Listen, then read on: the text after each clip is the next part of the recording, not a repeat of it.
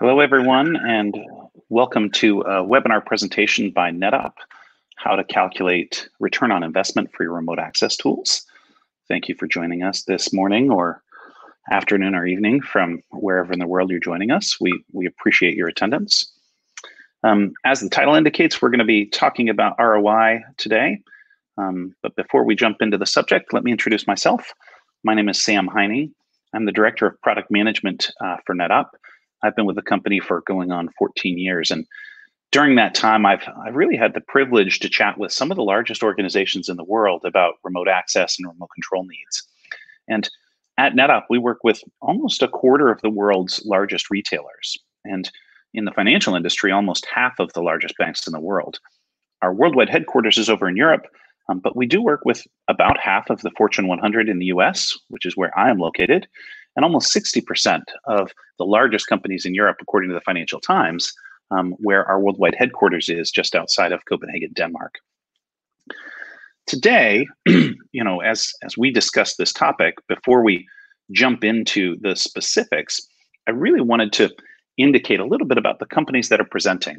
Um, not only I will be on the call, um, but I'm, I'm joined with um, one of our partners to talk about you know three different key aspects of NetOp Remote Control, the product that that we manage, but also um, the partnership that we've developed with Toshiba's global commerce uh, platform. And NetOp really focuses on the security of our solutions, the flexibility of our software, and it's that combination of security and flexibility that drives efficiency for organizations. And we've been really thrilled to work for the past several years uh, with Toshiba um, because of their expertise in uh, point of sale and within the retail marketplace. So let me introduce um, my co-presenter today, uh, Barry Cox. And Barry, do you want to tell the audience a little about yourself? Yeah, good morning. Good morning. my name is Barry Cox. I uh, work for Toshiba Global Commerce Solutions. I've been with the company about 22 years. Um, I am responsible for our partnerships um, and our services based solutions um, so operating systems, our um, remote management tools, and the partnership with NetOp. So you know, to sort of complement what Sam's been saying, you know, we I've also been fortunate to work with some of the some of the largest retailers in the world um, across numerous geographies as well. Um, our partnership with NetOp is is very much complemented on the strengths of both businesses, and I'll, I'll talk to that in a, a few minutes. You know, we've got uh, extensive install base, um, some fantastic partners, and I think the the, the solution and um, the partnership with NetOp really does complement both businesses. To talk to the partnership in, in particular, so why does Toshiba partner with NetOp? Why do we believe that the, the combined solution really complements our, our customers, our partners um, across across the globe, not just regionally? Um, when I think about the value proposition that Toshiba provides, you know, we we strive for uh, hardware to have the highest availability. We know it has to be reliable, and the longevity has to be there.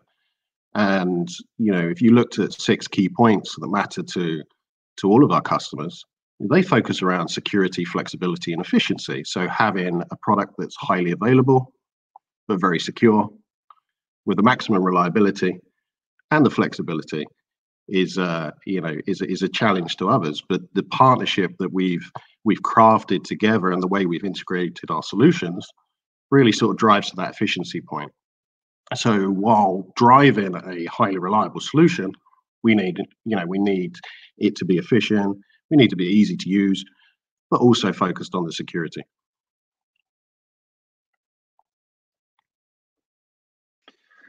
Thanks, Barry. So we, the rest of this presentation is really going to be more of a, a, dialogue or a conversation between Barry and I as we talk a little bit about this ROI formula and what are the real world implications of using a remote access and a remote control tool uh, within a retail environment. Specifically, um, we're looking at a hypothetical example of using remote access on point of sale devices.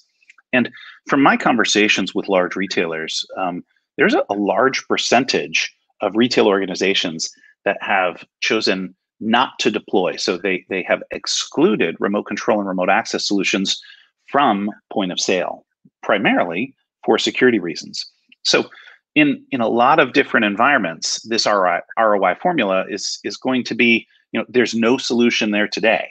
And so we can look at the, the standard kind of business school formula of let's talk about what can you gain by putting in this new technology.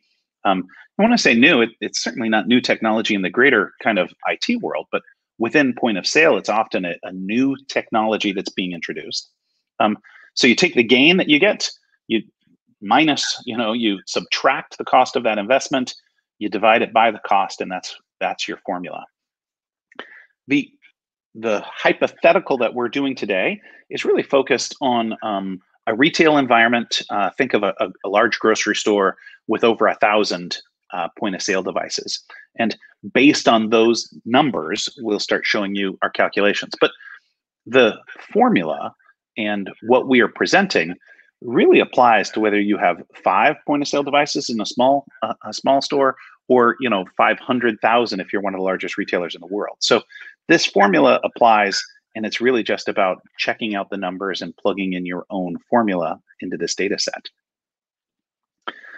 And the last thing I'll say is that when you're looking at calculating the gain or when you're looking at calculating this, we find that not only are there retailers and uh, stores and organizations that have not deployed a remote control solution, but oftentimes they're looking to change their remote control solution. Or if you're in the position of trying to assess whether or not it makes sense to change vendors, this same sort of formula can apply.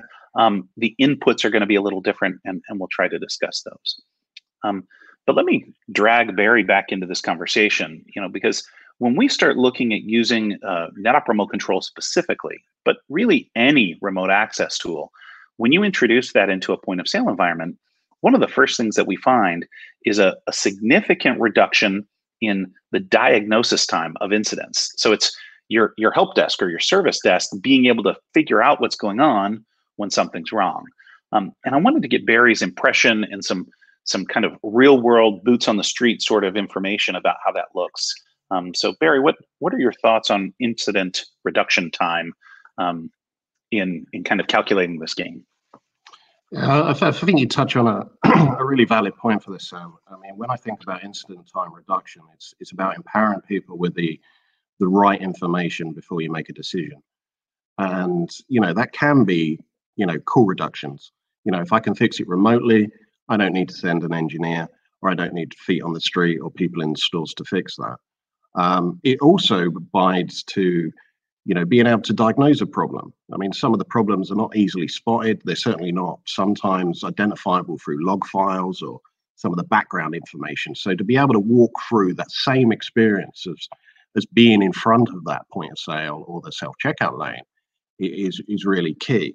I think I'd add to it that, you know, when I think about support in general, you know the one of the one of the strong benefits i see from the netop solution is the ability to collaborate as well so being able to have many minds look at a problem at the same time is is really sort of key and uh, and sort of helps to, to, to reduce that incident diagnosis time.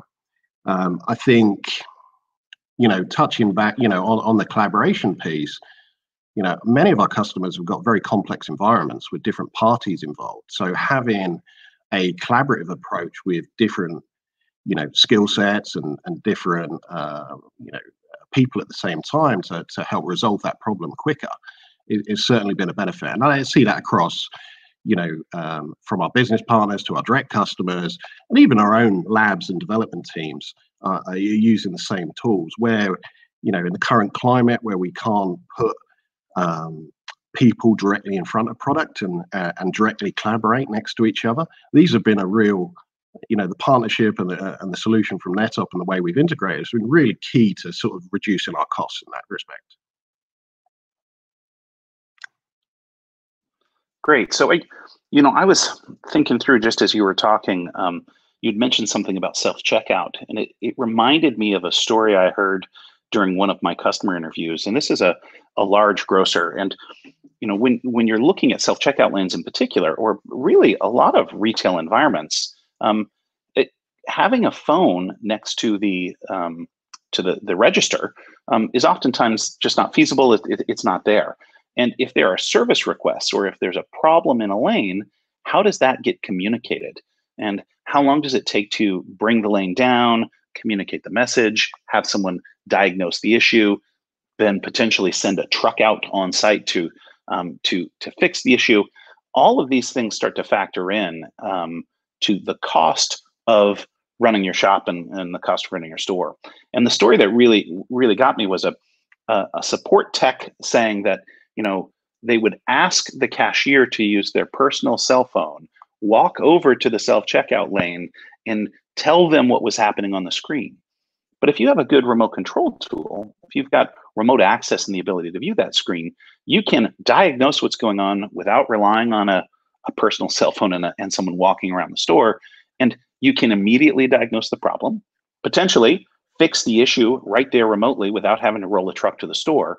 And if you do need to roll someone to the store, you can talk through that person, what you're seeing, and provide additional collaboration, as Barry said. So these percentages that you're looking at, they really reflect dollars saved, right? I can decrease the number of minutes in my uh, diagnosis from my help desk. I can reduce the number of truck rolls to the store, saving a lot of money. And if I do have to roll someone out there, that 20% improvement in effectiveness means that they're going to be on site for less time. I'm going to spend less in time and materials for any of those on site service technicians. So we, we really want people to focus in, in the calculation here on dollars saved. And the return on your investment is you're going to save a bunch of money just by allowing this to happen. And I think I think I'd add to that um, slightly, Sam, as well. I mean, what, one of the uh, one of the things we've been uh, using the tool for as well is we've been leveraging the the ability to record that session to add to our knowledge database. So when we're thinking about you know resolving a problem that's that's in sight today, it actually adds um, you know, it actually builds out that that knowledge database that we we hold ourselves. So should the next person come across the problem, they can quickly relate to you know what the end user is seeing as well. So you know, touching on what you said about recording and viewing that user user experience. Great. Well, let's let's put some some dollars and cents to that, right? So in our hypothetical example, we've got a thousand point of sale devices, and what we are saying, um, and again, you can use your own numbers here, but the formula is to to calculate your cost avoidance. Um, if I if I add up the amount of um, truck rolls that I'm running, if I can save nine percent of those, if I can reduce my diagnosis time, if I can increase my uh, service trip effectiveness, we think, you know, based on just some average numbers from our interviews uh, with customers, as well as data that we're pulling that is is public from again a variety of different studies, you can save as much as twenty five thousand dollars, over twenty five thousand dollars a year. Business agility is really what do you do with that regained time? So if you know, as Barry said, you've got more people collaborating, and so they're more effective. If you've got um, a reduction in the amount of time it takes to solve a problem, you're recapturing that time for your employees. And so they, they now have more time to be productive, effective, and efficient in your organization. And I look at this and I kind of think of that first line of cost avoidance is as hard money, right? That's that is money in your pocket. The business agility, it's it's a little, it's kind of soft money, right? It's it's definitely going to be a savings, but it's based on how much more efficient and more productive you are. And then we get to risk mitigation. And risk mitigation is, is tricky uh, because if you look at the environment that we live in today, we know if that you're a retailer, regardless of you are a small mom and pop shop or a tier one retailer with global coverage, you're going to be in the sights of hackers, criminals, um, and, and, bad actors. And there have been just a ton of studies over the last several years. Um, and the one that I'm referencing in, in my calculations is from IBM and the Ponemon Institute that said, you know, you're the percentage of you being attacked in any given year is greater than 10%. So we know that, you know, there's a really good chance that you will be attacked over a, a three-year period. And with NetOp remote control in place and, and this solution that I'm talking to, we're not the only security that you'll put in place. But remote access is a significant threat vector that is targeted by these hackers. So if we can just reduce your risk by 1%, just a simple 1% risk mitigation, you can save literally tens of thousands of dollars in a potential breach.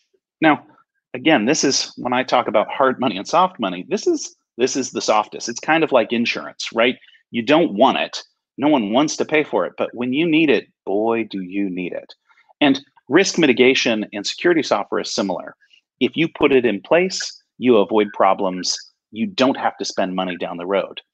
But even if you take this out, look at that look at that number. You're going to save over $25,000 a year just in not sending trucks to a store, just in getting more efficiencies, you know, from your organization.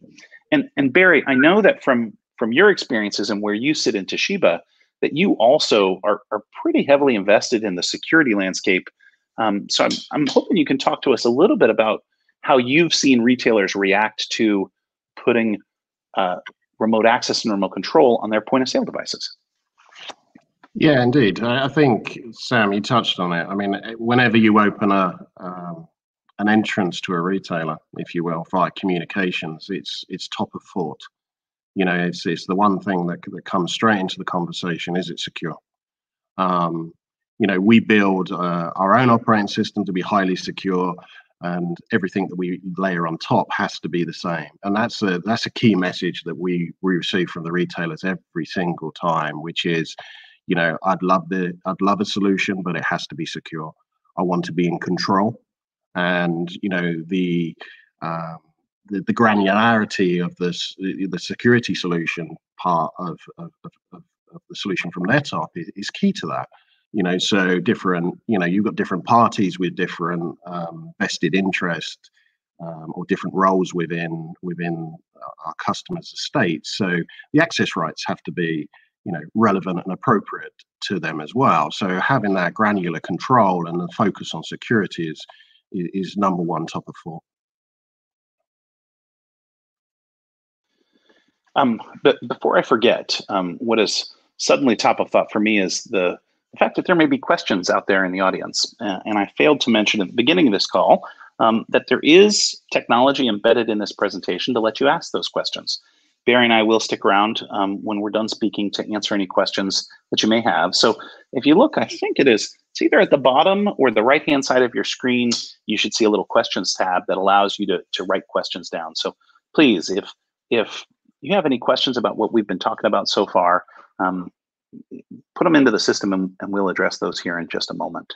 Um, but Barry, I, I appreciate the feedback. And I, I think if we look at the, you know, kind of the totals here, that total gain, it, it's pretty significant.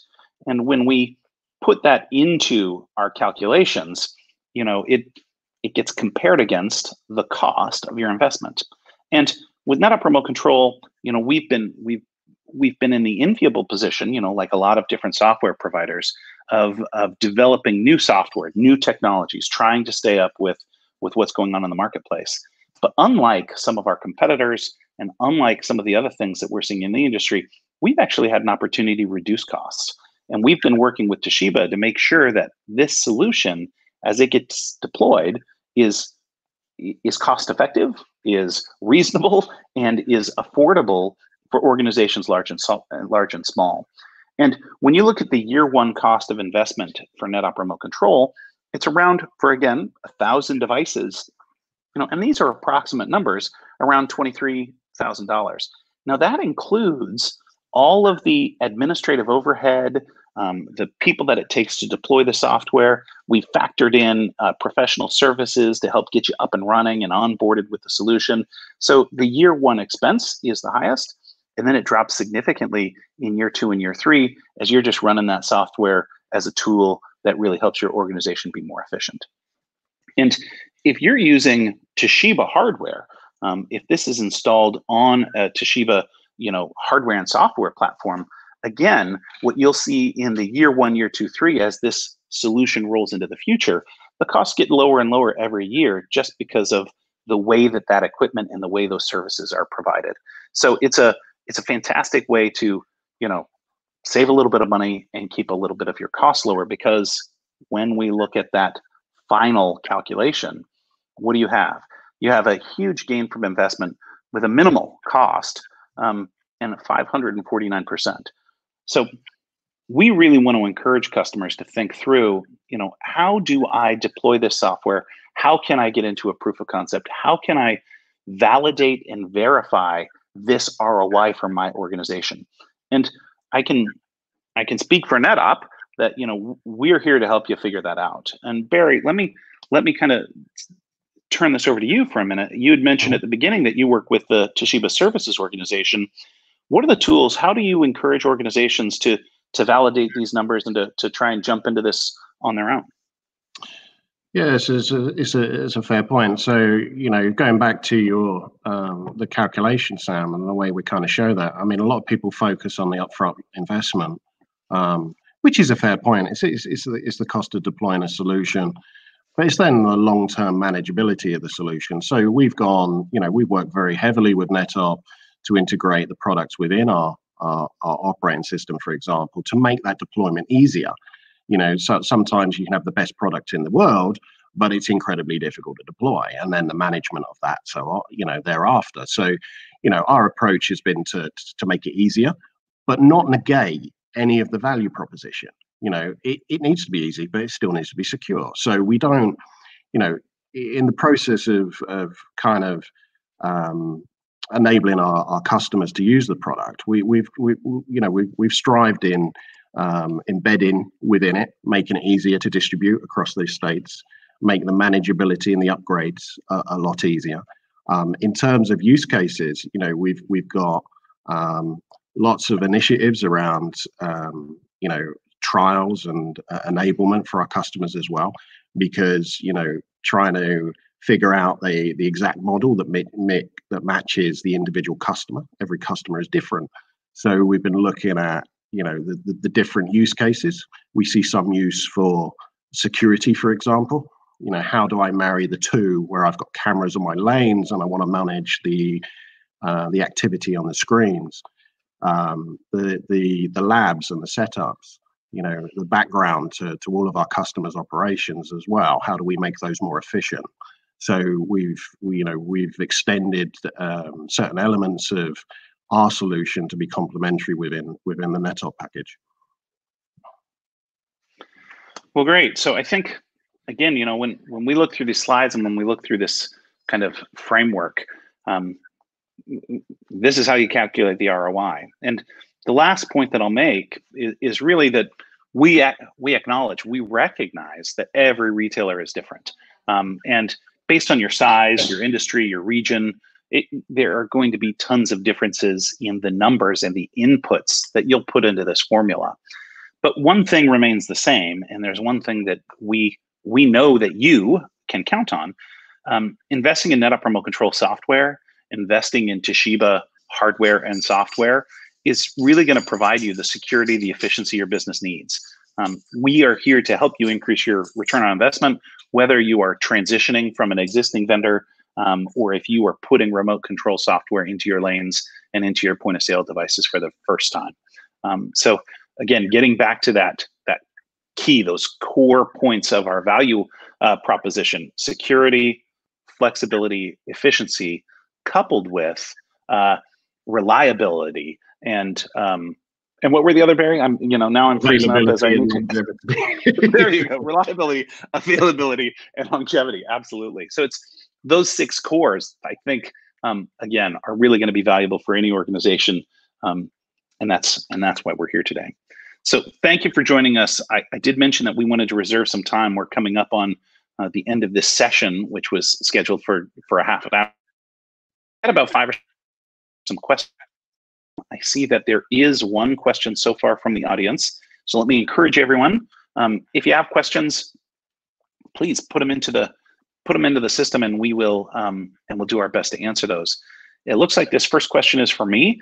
Um, it says, how does NetOp help with third-party risks? Um, which is a great question because I think, you know, it, most of the retailers that I work with um, will have a, a, small IT team. I mean, if they're a large um, kind of tier one retailer, they're definitely going to have a, a, service desk and, a, and an IT team that helps with their stores, but they always rely on third parties to help manage their software, help manage their hardware, help manage um, the different components of their store. And with NetOp Remote Control specifically, you have the ability to manage that third party risk in a variety of different ways. We offer incredibly granular access controls and authorization and kind of authentication options. Um, and it's that access control, authentication, and authorization that helps you manage risk. And to break those down just a little bit, you can put layer upon layer of security controls in so that only certain people can access certain devices, right? I want to uh, restrict access to a specific IP.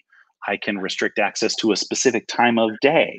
I can restrict access to a specific geography, right? So I can get very detailed on where people are coming from. Then with NetOp Remote Control, we can use authentication options, including multi-factor authentication. And it can use the existing multi-factor authentication that you may have deployed, or NetOp has a, um, a, a, a native MFA option that we can bring with us to, to give you those capabilities. Those multiple factors of authentication are necessary if you want to be PCI compliant, if you are looking at devices that are within a PCI zone um, or that have you know personally identifiable information on them. And then finally, you, you limit access, you authenticate the individual. There's the authorization of that user on the equipment.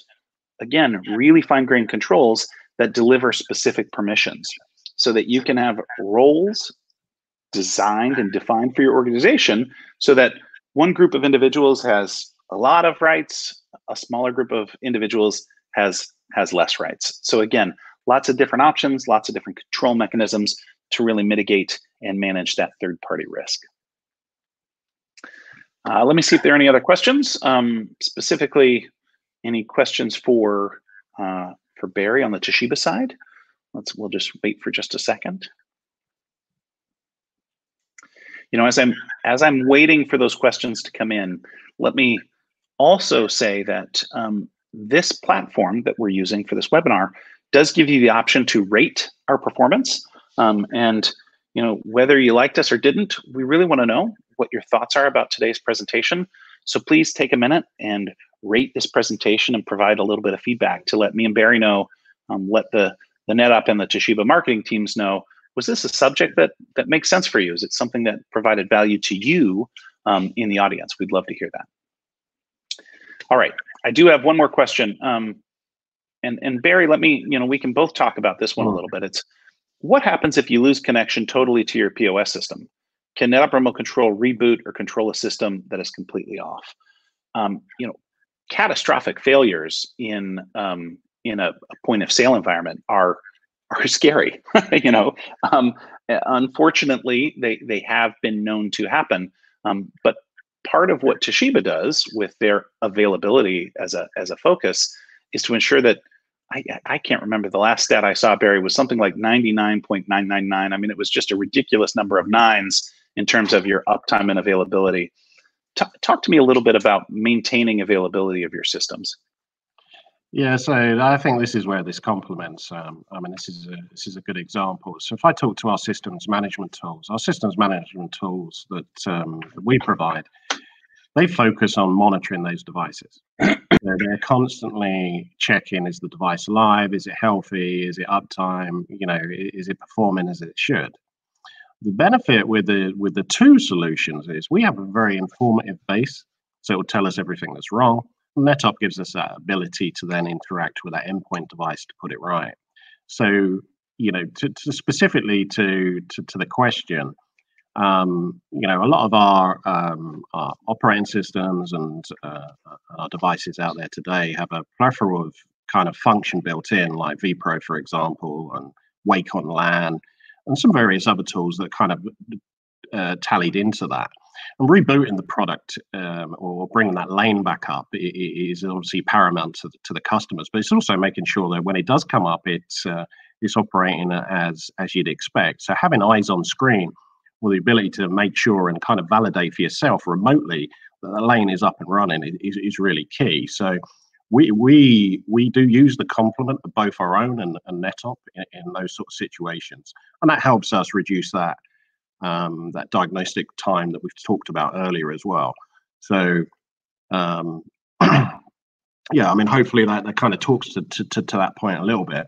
Um, you know, the the other thing we get with it with, with the benefit of the both is is um, is you know issues with when the system's starting up as well. I mean, it might be particular, you know, corruption in driver or um, you know some soft issue.